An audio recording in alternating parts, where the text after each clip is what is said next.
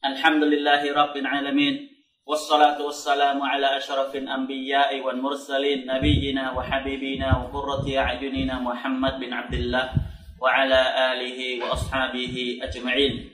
اللهم لا علم لي إلا ما علمتني علمني ما ينفعني وانفعني بما علمتني وزدني علما. اللهم اغفر لي ما قدمت وما أخرت وما أسررت وما أعلنت. وما أنت أعلم به مني وأنت المقدم وأنت المؤخر لا إله إلا أنت وبعد Đêm nay chúng ta tiếp tục cái tiết thứ hai của cái bài khóa học của chúng ta về luật học Ramadan của quyển sách luật học căn bản dưới ánh sáng của Quran và Sunnah của tập thể ulama ưu tú chuyên về luật Sharia. Thì chúng ta đi đến mục thứ năm đó là các điều kiện của nhìn cha Ramadan. Tất nhiên là cái việc nhịn chay Ramadan nó có điều kiện của nó. Đối với ai có phù hợp được điều kiện, thì cái việc nhịn chay của họ mới được Allah Subhanahu wa ta'ala công nhận. Còn nếu như thiếu một trong các điều kiện sau đây, thì việc nhịn chay của họ trở nên vô giá trị. Thì cái điều kiện thứ nhất, bắt buộc đó phải là người Muslim, nghĩa là người đó phải là người Muslim trước tiên, tức là phải có Islam bởi người ngoại đạo, họ sẽ không bắt buộc phải nhịn chay, và cho dù họ có nhịn chay, thì cái việc nhịn chay của họ trở nên vô giá trị trừ khi họ cải đạo trong tháng Ramadan, thì lúc này mới bắt buộc họ nhịn chay và bù lại những cái ngày thiếu của tháng đó. Cái điều kiện thứ hai, đó là phải là trưởng thành. Nghĩa là không bắt buộc nhịn chay đối với những trẻ con chưa chưa trưởng thành. Thì cái vấn đề trưởng thành này nó có những cái dấu hiệu nhận biết của nó. Thì nhân đây sẽ nói với chúng ta, cái dấu hiệu nhận biết khi nào một đứa trẻ nó trưởng thành bắt buộc nó phải nhịn chay và cha mẹ cần phải quan tâm đến điều này thứ nhất, có những cái dấu hiệu chung dành cho cả bé trai và bé gái. Đó là khi đã đủ 15 tuổi. Tất nhiên, không phải là một đứa trẻ nó hội tụ hết tất cả những cái dấu hiệu sau đây. Nó mới gọi là trưởng thành, chỉ cần nó xuất hiện trên cơ thể nó một trong những cái dấu hiệu sau đây thì nó được gọi là trẻ trưởng thành. Thứ nhất, đó là 15 tuổi. Dù là bé trai hay là bé gái, khi đủ 15 thì đứa trẻ đó đã trưởng thành. Nếu như có trẻ trẻ nó sẽ sớm hơn trước 15 tuổi thì nó lại vậy thì sớm hơn. Giống như uh, nó sẽ phát triển cái phần ngực của nó hoặc nó sẽ mọc lông ở phần cánh và phần ở bộ phận kính của nó. Thì đó là cái dấu hiệu thứ hai khi đứa trẻ đã trưởng thành. Và cái dấu hiệu thứ ba của đứa trẻ trưởng thành đó là cái giọng nó sẽ đổi. Không do bệnh hoạn mà nó sẽ đổi sang một cái giọng giọng khác được dân gian gọi là bể giọng. Thì khi đó là cái dấu hiệu của việc đứa trẻ nó trưởng thành. Và dấu hiệu thứ tư là dấu hiệu dành riêng cho bé gái đó là bé gái nó sẽ có chu kỳ đầu tiên của nó. Thì đó được gọi là trẻ là trưởng thành. Và riêng bé trai, cái dấu hiệu thứ năm, đó là cái dấu hiệu nó sẽ xuất tinh do cái nằm mộng và nó có gọi là cái giấc mộng ướt thì năm dấu hiệu này, chỉ cần trẻ nó xuất hiện một trong năm dấu hiệu này trên cơ thể của mình thì đứa trẻ đó đã trưởng thành. Thì bắt buộc chúng phải nhịn cha Ramadan, cũng như trước đó là phải hành lễ Salah bắt buộc. Thì các cha mẹ cần phải quan tâm điều này đến với con cái của mình. Nếu như chúng đã trưởng thành mà chúng ta không sai bảo chúng, thì cái trách nhiệm tội lỗi lớn nhất đó chính là người cha và người mẹ phải chịu trách nhiệm. Cho việc chúng không cái hoàn thành cái trách nhiệm hành lễ Salah hay là việc nhịn cha Ramadan bắt buộc đối với chúng, thì chúng ta quan tâm đến cái điều này. Và cái bằng chứng cho rằng chỉ có người trưởng thành mới bắt buộc, đó là cái hadith của Nabi sallallahu alaihi wasallam nói rufi al qalamu an salasa anisabi hatta yabalung có ba hạng người cái giết giết tội sẽ được nâng lên. Thì trong cái số ba hạng đó là bị Salam nói và trẻ con đến khi trưởng thành. Nghĩa là khi trẻ mà nó chưa trưởng thành thì chúng chưa phải hành lễ Salah và bắt buộc nhìn cha Ramadan. Nhưng đối với những trẻ mà chúng mặc dù chưa trưởng thành, nhưng chúng có cái sự tinh khôn về hiểu biết được sự việc và díu đi chúng nhìn trai, thì cái sự nhìn trai của chúng có giá trị. Lúc này mặc dù trẻ nó còn nhỏ giống như trẻ mới có 10 tuổi hoặc hơn chưa đến tuổi trưởng thành thì chưa có tất cả cái dấu hiệu nào cả. Nhưng cha mẹ cũng đừng nên là bỏ mặt chúng. Hãy tập cho chúng để biết rằng Ramadan là như thế nào và nhịn chay nó ra sao. Để chúng ta tập sự cho chúng để chúng lớn lên chúng sẽ không có cảm giác bỡ ngỡ. Giống như Sahaba radhiyallahu anhum trước đây họ đã dụ các con của mình cho chúng ăn à, nhịn Ramadan. Và khi chúng đói bụng thì Sahaba họ sẽ bắt đầu bắt cái nồi lên và họ sẽ đổ nước và họ để đá vào trong đó. Và họ nấu họ nấu con chờ lát đi. Mình đang nấu thức ăn, khi nó chín thì mình sẽ ăn. Chẳng qua là họ dụ để cho chúng mệt mỏi, sau đó chúng sẽ ngủ quên. Và sau đó khi mặt trời lặn, họ mới cho chúng ăn. Đó là cách tập sự ban đầu. Đương nhiên chúng ta có thể dùng một cách khác, dễ dàng, nhẹ. Chúng giống như chúng ta có thể chia cái buổi nhịn ra làm hai buổi. Từ sáng ăn cơm nhịn cho đến trưa, sau đó chúng ta sẽ tiếp tục cho chúng xả với thức ăn nhẹ sau đó chúng ta sẽ cho chúng ăn nhịn ăn đến chiều cho đến cùng như mọi người. Thì đó là cách ban đầu để cho chúng biết được nhịn chay là gì, để cho chúng không bỡ ngỡ khi đã trưởng thành. Đó là cái điều mà cha mẹ cần phải nên lưu ý. Cái điều kiện thứ ba để mà nhịn chay Ramadan, đó là phải người có lý trí. Đối với nhịn chay không bắt buộc đối với người bị thần kinh gọi là điên khùng hay là khờ khạo, tại vì họ sẽ không biết được việc làm của mình và cái bằng chứng là cũng cái hadith chúng ta nghe khi nãy và Nabi Sallallahu Alaihi Wasallam kể cái nhóm người thứ hai được uh, dở cái giết ghi tội lên khỏi họ đó là anil majnun hatta yakil. À, đối với người bị tâm thần cho đến khi bình thường. Khi nào mà chúng trở lại bình thường nhận biết, biết được sự việc thì lúc này mới bắt buộc chúng hành lễ so lá và bắt buộc chúng phải nhìn cha Ramadan. Khi chúng đang trong cái việc bị thần kinh hay là bị phù khờ thì không có bắt buộc. Cái điều kiện thứ tư bắt buộc người nhịn cha Ramadan đó là đối với người có sức khỏe. Thì đối lập với có sức khỏe đó là bệnh tật. Đối với người bị bệnh thì họ được tạm thời hoãn cho cái việc nhịn chay của ngày hôm đó. Tuy nhiên đối với cái bệnh bình thường giống như là cảm mạo nhẹ, sơ sài, nhức đầu, đơn thuần gì đó, thì chúng ta không nên bỏ cái việc nhịn chay để bỏ lỡ một ngày đó. Mà hãy cùng nhịn chay biết đâu được nhịn chay chúng ta sẽ được Allah Taala của chúng ta khỏi bệnh. Còn đối với bệnh nặng thì chỗ này được phép trì hoãn cái việc nhịn chay qua qua những ngày khác tuy nhiên nếu như họ cố gắng không muốn bỏ lỡ cái việc nhịn chay mà muốn tiếp tục cố gắng nhịn thì được phép được phép nhịn và cái nhìn đó có giá trị đối với người nào có ý định đó và cái bằng chứng cho việc này đó là Allah subhanahu wa ta'ala phán فمن كان منكم مريضا أو على سفر فعدة من أيام أخر Tuy nhiên ai trong các ngươi bị bệnh hoặc là khách lữ hành, thì y hãy nhịn bù lại vào ngày khác tương ứng với số ngày đã không nhịn. Nói như thế này, đối với một người trong tháng Ramadan, anh ta không nhịn hai ngày hoặc ba ngày vì một cái lý do chính đáng. Do giống như là phụ nữ đang trong chu kỳ hoặc là bị bệnh trong một vài ngày hoặc là rời khỏi nhà, đi công việc vài ngày.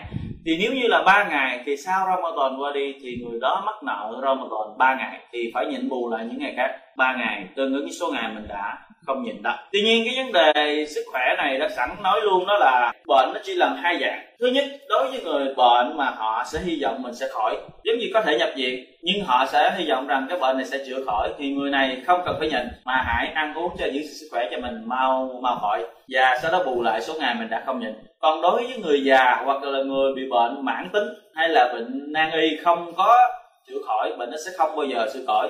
Và nếu như nhịn, sẽ không nhịn được thì người đó sẽ không cần phải nhịn. Mà người đó sẽ đi đến một cái bước khác, đó là xuất thức ăn mỗi một ngày cho một người nghèo. Và thức ăn này xuất có hai cách. Thứ nhất, chúng ta sẽ xuất bằng lương thực chính của địa phương. Thì giống như ở Việt Nam chúng ta thì đó sẽ là xuất bằng gạo. Thì gạo nó sẽ là một kg hai. Đó là ít nhất một kg hai có thể xuất cao hơn một kg rưỡi, hai kg hay là nhiều hơn tùy theo cái khả năng hay là cái lòng đất qua của mỗi người muốn cho nhiều như thế nào, nhưng mà ít nhất phải là một kg hai. Và cách thứ hai là chúng ta xuất bằng thức ăn. Nghĩa là thức ăn đó phải là một buổi ăn no, gồm có thức ăn đầy đủ, cơm và thức ăn và và cái chai nước. Để đối với một người ăn no cái buổi hôm đó, một là xuất gạo, hai là xuất thức ăn. Thay thế mỗi một ngày là một người người nghèo. Chúng ta có thể xuất vào buổi chiều, hoặc có thể gom vài ngày xuất một lần. Đó là những cách dành cho những người bị bệnh, đó là điều kiện thứ tư là phải có sức khỏe cái điều kiện thứ năm đó là người đó đang ở địa phương của mình, tức là đang ở quê nhà của mình. Còn nếu như đi đường thì không có bắt buộc giống như tài xế lái xe đường dài chẳng hạn, anh ta liên tục di chuyển, thì người đó sẽ không bắt buộc nhịn chai nhưng nếu anh ta nhịn chai thì được phép. Cũng giống như chúng ta đi đường xa, đi đây đến một cái quãng đường dài hàng trăm cây số, chúng ta được quyền nhịn và chúng ta được quyền quyền không nhịn. Tuy nhiên, nếu như cái chuyến đi giống ngày hôm nay nó quá dễ dàng và thuận lợi, không cần phải tốn công, tốn sức nhiều, thì chúng ta hãy nên nhịn để chúng ta không khỏi mất một số ngày đó, để chúng ta khỏi phải bù. Tại vì có một số người sẽ bị ngao ngán khi chúng ta sẽ nhìn nhìn bù trở lại. Thì đó là điều chúng ta nên lưu ý, nếu dễ dàng thì hãy nhìn. Và các bằng chứng cũng như câu kinh khi nãy, Allah subhanahu wa ta'ala phát, nếu như ai trong các ngươi bị bệnh hoặc là đang đi trên đường, thì chúng ta đã nhắc đến cái bằng chứng này rồi. Cái điều kiện thứ sáu, đó là phụ nữ phải sạch sẽ. Nghĩa là phụ nữ không có trong chu kỳ kinh nguyệt và cũng không có ra máu hậu sản nếu như bị một trong hai cái vấn đề này thì phụ nữ đó không được phép.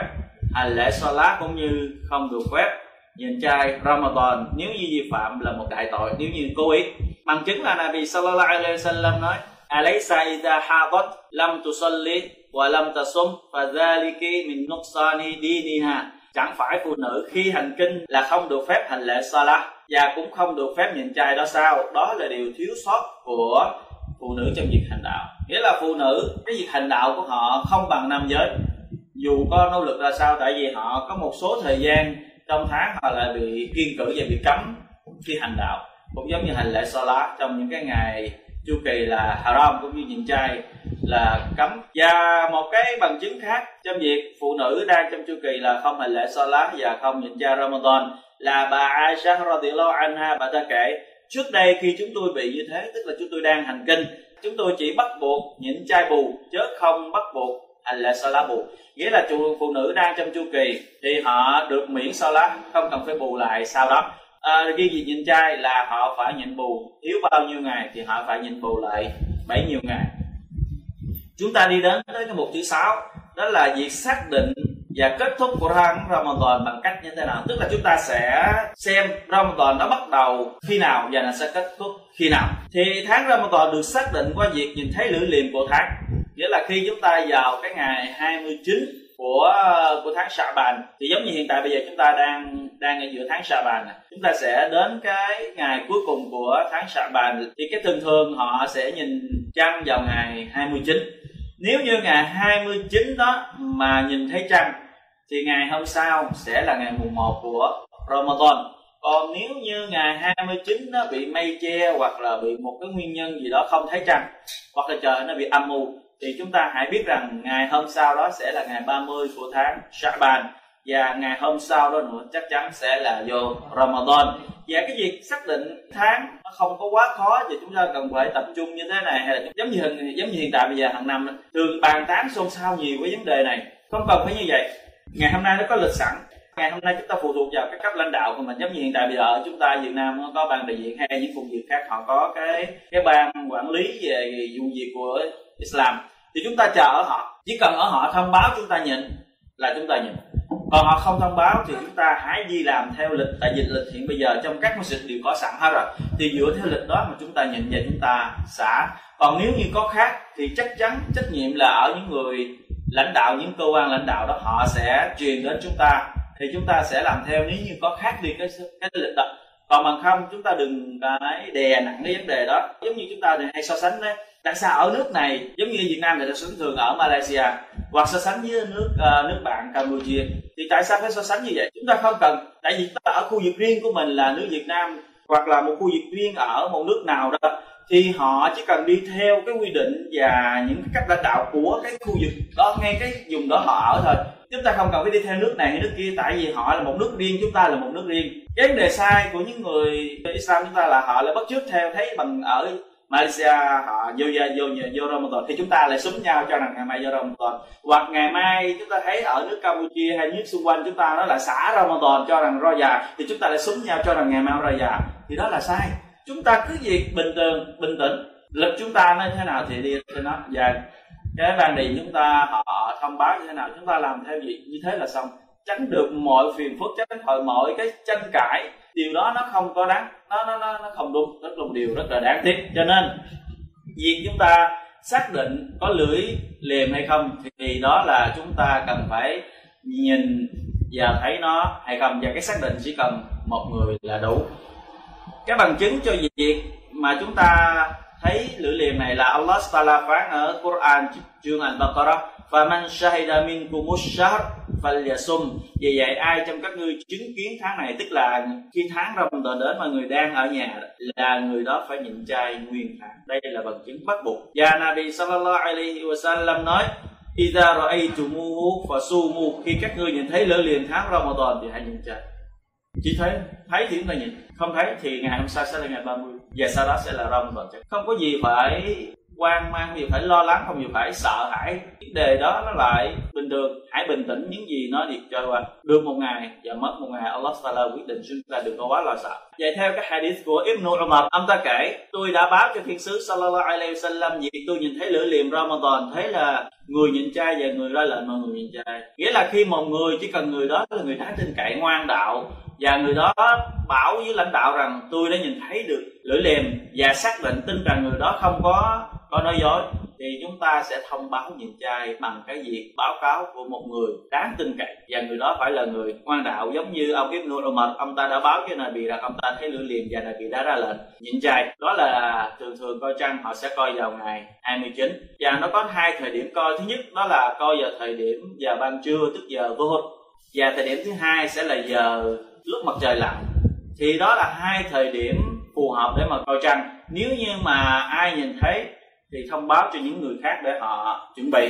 Còn nếu như không ai nhìn thấy thì chúng ta hãy biết rằng ngày hôm sau sẽ là ngày 30 của tháng Shaban. Bởi Nabi Sallallahu Alaihi Wasallam không bảo chúng ta làm những gì quá quá khả năng mình là phải uh, như thế này như thế này để mà coi trăng các bằng chứng cho rằng á, nãy giờ nói rằng khi mà không thấy trăng chúng ta sẽ cho rằng ngày đó là ngày 30 là Nabi Sallam nói sumu li ru'yatihi wa aftiru li ru'yatihi. فإن in gubbiya alaykum fa akmilu iddata các ngươi hãy nhịn chay khi thấy lửa liềm của tháng Ramadan và hãy xả chay khi thấy lửa liềm tháng Shawwal. Và nếu trường hợp bị mây che, không nhìn thấy lửa liềm, thì các ngươi hãy tính tháng Shawwal đủ 30 ngày.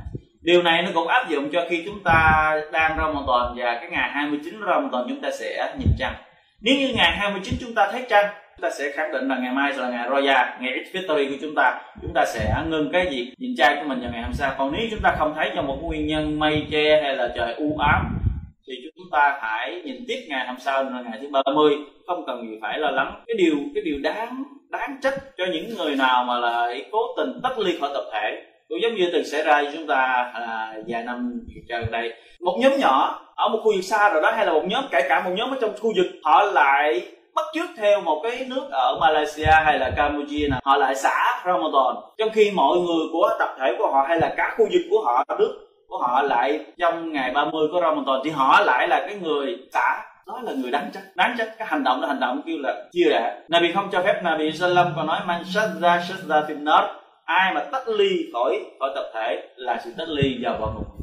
Đừng có làm những cái điều gây hại đến chính mình và gây xôn xao và gây náo loạn cho tập thể cái điều khuyến cáo không bao giờ nên làm nếu như tập thể đã nhịn thì chúng ta tiếp tục nhịn với họ. Một ngày chúng ta nhịn 29 ngày, chúng ta lại không chịu nhịn thêm một ngày nữa. Trong khi một ngày đó ân phúc như thế nào đối với chúng ta? Rồi chúng ta sẽ được cái giá trị một ngày Ramadan nó có giá trị như thế nào? Trong khi Ramadan nó là cái tháng tốt nhất.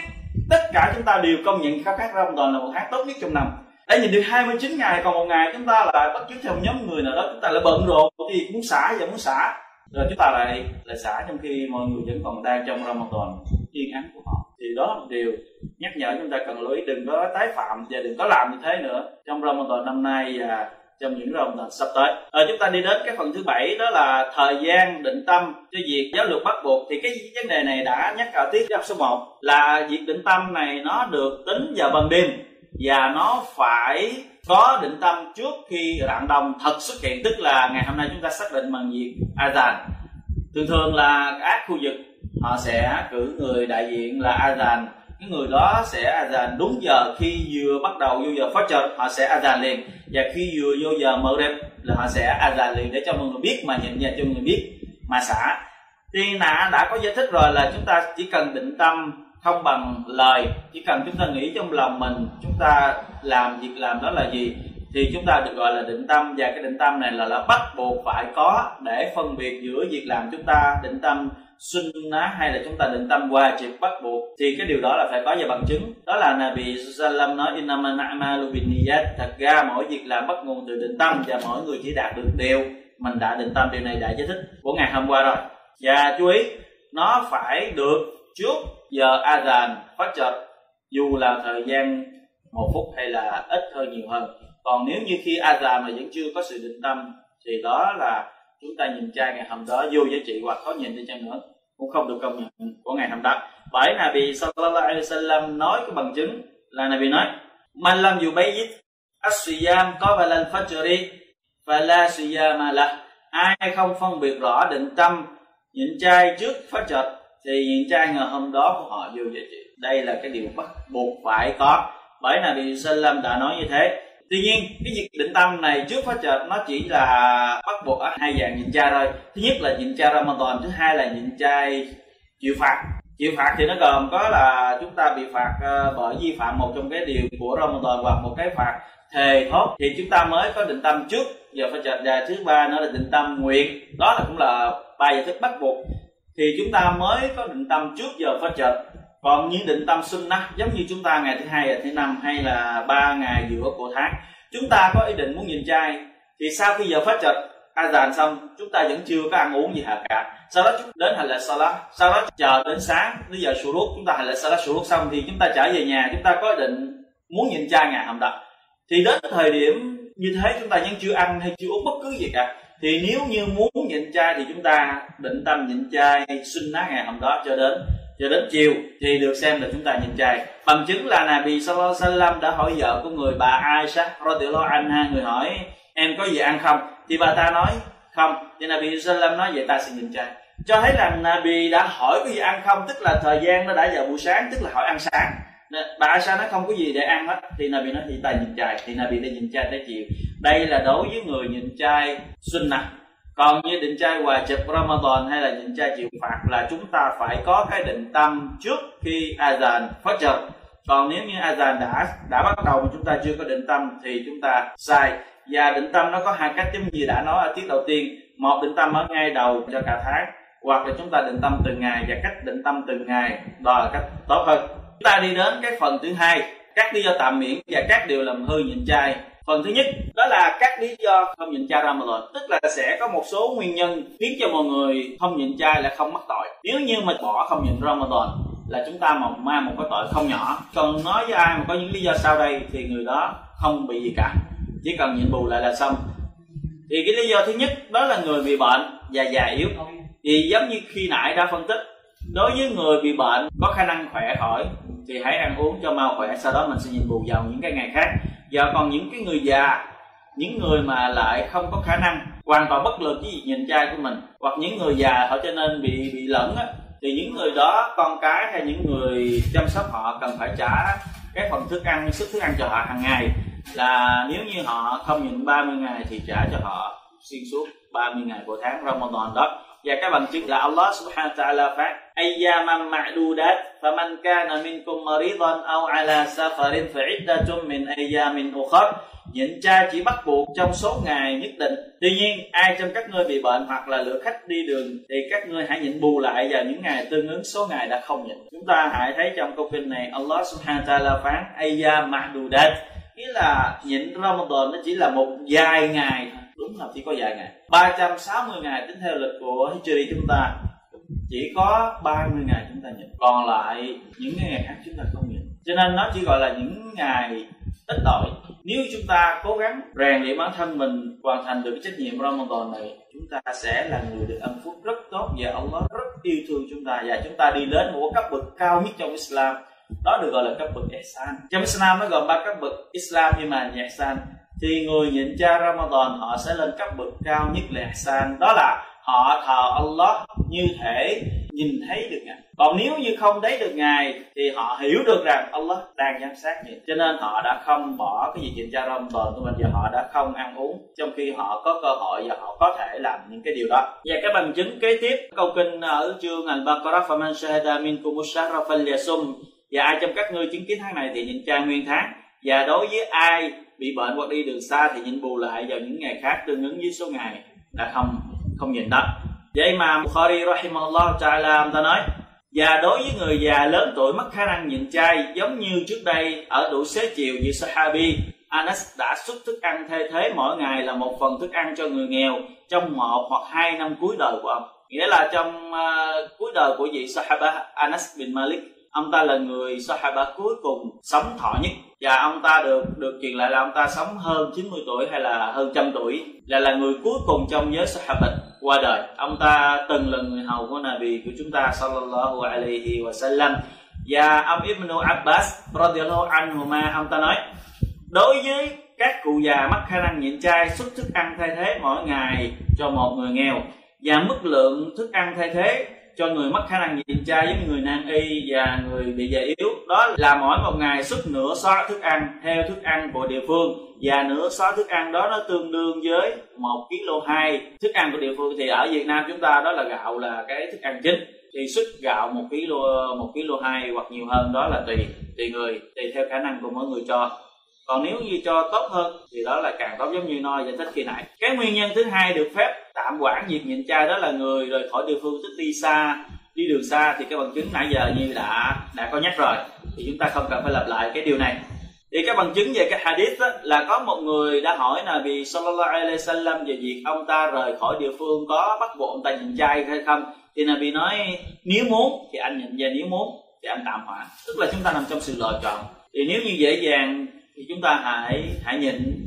Và nếu như khó khăn thì chúng ta hãy xả. Và các bằng chứng kế tiếp nữa là bằng cái hành động của Nabi Sallallahu Alaihi Wasallam. Khi mà mọi người trong tháng Ramadan di chuyển, hướng về mặt cắt khi đến cái vùng đất gọi là Al Qadid thì Nabi Sallam thấy mọi người mệt mỏi. Thì Nabi đã ra lệnh xả chay người xả chay và tất cả mọi người xả chay thì đó là gì? Chúng ta thấy nếu khó khăn thì hãy xả. Còn nếu chúng ta cố gắng mà làm cho cơ thể mình bị bệnh hay là bị mệt mỏi hơn thì đó là điều haram. Chúng ta cần phải lưu ý cái điều này tuy nhiên, không phải bất cứ trường hợp nào rời khỏi nhà hay là khỏi địa phương là được quyền hoãn cái việc nhịn chay Ramadan cái việc tạm hoãn nhịn chay này nó chỉ được phép đối với những người nào được quyền rồi rút ngắn lại salat và gom cái lại salat lại cũng giống như người mùa Musafir họ đã đi dài hơn 80 km khoảng đường xa hơn từ nhà mình là hơn 8 km thì người đó được phép rút ngắn để salat và được phép gom để salat lại, thì người đó mới được quyền tạm hoãn việc nhịn chay của mình. Còn đối với người nào mà đi khoảng cách ngắn hơn giống như đi mới có 70 km hay là 75 km thì chúng ta không được quyền rút ngắn lại salat lái cũng không được quyền tạm quản cái dịnh chai Ramadan của mình. Tuy nhiên cái giới hạn là 80 km này nó không phải là điều thống nhất vô lề mạc nhưng mà đây là cái ý kiến phù hợp nhất, đúng nhất. Và đây là ý kiến của Sheikh Ibn Uthaymeen rahimahullah ta'ala. Và đối với trường hợp á, dùng xảo kế hay là dùng cái mưu kế để rời khỏi nhà để khỏi nhìn cha Ramadan hoặc với cái định tâm đi làm điều haram á, thì những người đó không được phép tạm hoãn nhìn cha toàn.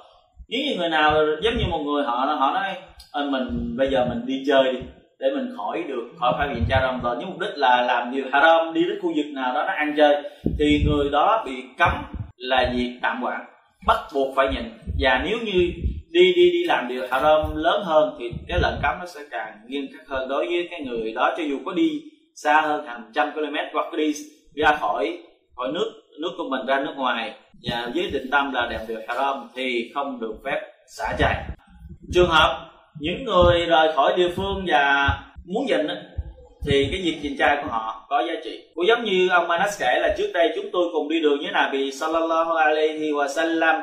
Trong số chúng tôi có người nhịn và số có người không nhịn. Nhưng chúng tôi không cảm thấy hổ thẹn. Hổ thẹn với với nhau, với người nhịn và người không nhịn.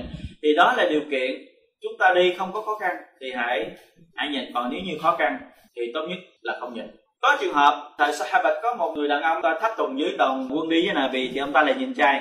Vào giữa trưa ông ta trai như là không chịu đi vào bóng mát, lại đứng ở ngoài nắng và sau đó ông ta ngất xỉu. Và khi ông ta ngất xỉu thì mọi người mới bu quanh ông ta. Thì Nabi mới hỏi chứ đó là chuyện gì?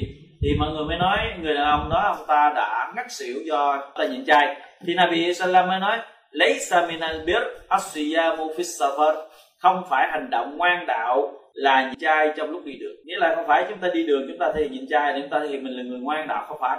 Mà chúng ta nếu như dễ dàng thì hãy thể hiện mình là một người ngoan đạo nhịn chay còn nếu như khó khăn thì hãy xả ăn uống và sống dây trở về bù lại. Cái khoảng thời gian chúng ta thiếu lắm và nguyên nhân thứ ba được phép tạm hoãn việc nhịn chay của mình đó là phụ nữ trong chu kỳ kinh nguyệt và đang ra má hồ sản thì vì này đã giải thích rồi và bằng chứng và giống như ở trên hồi nãy nguyên nhân thứ tư được phép tạm hoãn việc nhịn chay đó là phụ nữ đang mang thai và cho con bú. Thì đối với phụ nữ đang mang thai cho con bú, nếu sợ ảnh hưởng đến con của mình, thì người phụ nữ đó được quyền tạm hoãn việc nhịn chay của mình.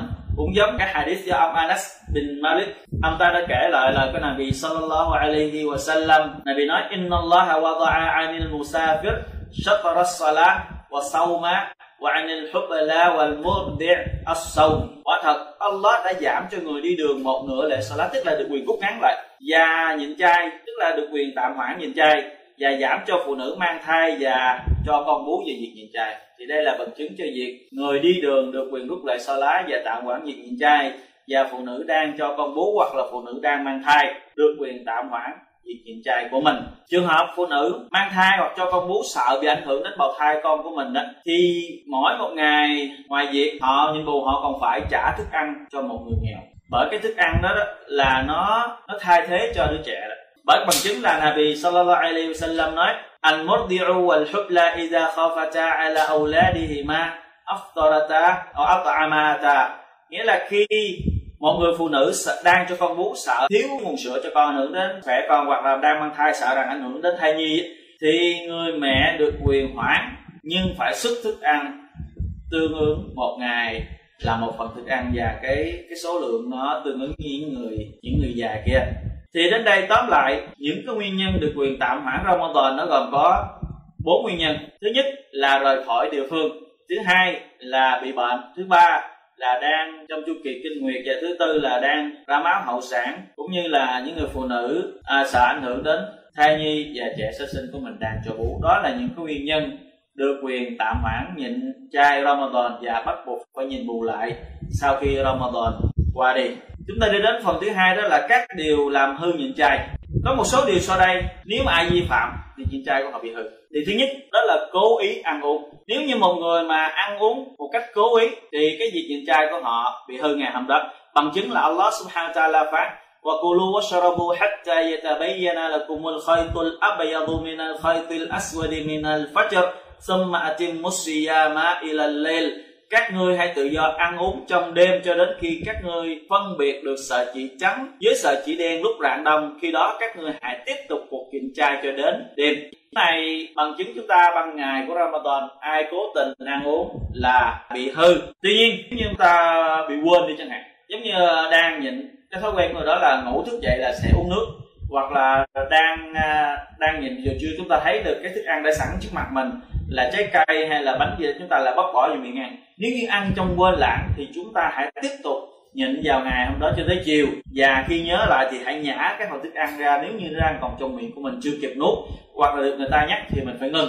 Bởi Nabi Sallam nói, man nasiya wa huwa sa'im fa akala aw sharib falyutimma sawmah fa inna ma at'amahu Allah wa saqah ai vô tình ăn uống trong lúc đang nhịn chay thì hãy tiếp tục nhịn. Việc ăn uống vô tình đó là cái đặc ăn mà Allah dành riêng cho cái người đó. Hãy an tâm việc nhịn chay ngoài ra, cái thuốc nhỏ mũi, nhỏ vô cái cái mũi mà giống như người bị bị bệnh về mũi mà họ cần phải nhỏ thuốc nếu như mà họ nhỏ thuốc mà nó không có cảm giác gì, ở cuống họng cả, thì không có hư chuyện chai của họ. Nhưng nếu như họ nhỏ mà có cảm giác ở cuống họng họ bị đắng hay một cảm giác của cái thuốc, thì xem như cái việc nhịn chai của họ bị hư. Rồi, còn với những người mà họ nhỏ mắt và nhỏ lỗ tai, hoặc là người bị bệnh xỉn mà phải xịt cái loại hơi vô trong cái miệng của mình, ba dạng đó không có bị hư cái gì nhìn trai của mình. Nhỏ mắt, nhỏ lỗ tai và xịt cái dạng xỉn cho những người bị bệnh xỉn ba cái dạng đó không có bị hư cái gì nhìn trai của mình. Kể cả gì chúng ta cảm nhận cái cái cái hơi thuốc hay khi cái gì đắng của thuốc nằm ở cuống họng chúng ta cũng không bị hư. Nó khác với cái mũi. Và một điều nữa, cái việc mà ăn uống, ngoài cái ăn uống này ra, nó còn cái thứ khác giống như chúng ta nuốt bất cứ gì không phải là thuốc. Chẳng hạn chúng ta nuốt một cái viên kẹ viên bánh hay là chúng ta nhét một cái cục sắt hay miếng bông gòn hay miếng giấy nào đó. Nếu như chúng ta cố tình nuốt nó vào, nếu như nó qua khỏi cuốn họng chúng ta, thì hư gì nhìn chạy chúng ta. Không phân biệt là cái thứ chúng ta nuốt vào cuốn họng của mình là nó là thức ăn hay là không phải là thức ăn. Chỉ cần nó đi xuyên qua đường họng của mình, thì đó là hư vị nhìn chai của chúng ta. Bằng chứng là khi nãy. Và cái việc làm hư nhiên trai trong cái ờ, phần thứ nhất này là cái việc mà chúng ta sẽ tiêm giống như trường hợp cái người bị bệnh thì họ lại mất sức vào buổi chiều. Nếu như mà họ đi đến bác sĩ mà họ bác sĩ tiêm cho họ cái mũi tiêm uh, tăng cường sức khỏe và mũi dinh dưỡng á, thì cái đó là hư sự nhìn trai còn nếu như mà cái cái liều tiêm thuốc là lúc thuốc chữa bệnh giống như cái người bị viêm son hay người bị đau lưng xương sống hay là người bị khớp gì đó chẳng hạn mà cái liệu trình của họ là phải chích mỗi ngày không được phép dừng. Thì nếu như họ đang nhịn chay thì cái việc chích điều cái liệu trình ờ, trị bệnh đau khớp hay là đau xương hay là đau sống gì đó cái thuốc đó, nó không có ảnh hưởng gì đến chuyện trai của họ họ được quyền tiếp tục nhịn. Nhưng nếu có thể dời lại cho đến buổi xả xong thì nó sẽ tốt hơn. Tuy nhiên, nếu như cần thiết phải nhịn, giống như bác sĩ nói, không thể trì hoãn quá cái thời gian so với cái ngày hôm qua là chẳng hạn, thì người đó được quyền chích cái liều thuốc điều trị đó sao đến việc nhịn trai của mình. Nhưng nhớ rằng nếu như chích cái loại thuốc tăng cường sức khỏe, làm cho khỏe lại, hoặc cái liều thuốc tăng dinh dưỡng vô cơ thể của mình, thì cái liều thuốc đó là hư việc nhịn chay của mình còn chích điều trị cho cái bệnh tình là không có bị hư cái việc nhịn chay của mình bao giờ. Thì đến đây chúng ta cũng hết thời gian. Cái tiết học của chúng ta, inshallah tạm dừng ở đây. Thì cầu xin Allah subhanahu wa ta'ala phù hộ cho chúng ta là những người nghe và làm theo.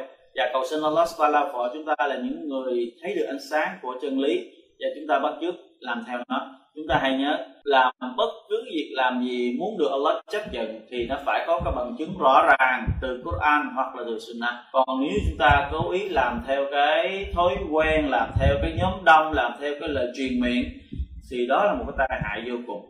Không được Allah chấp nhận mà chúng ta chỉ có mệt mỏi cho việc làm của mình mà thôi. Thì đến đây chúng ta tạm dừng tiết học thứ hai của mình. Cầu xin assalamu alaikum wallahu a'lam wa ahkam. Wa sallallahu ala nabiyyina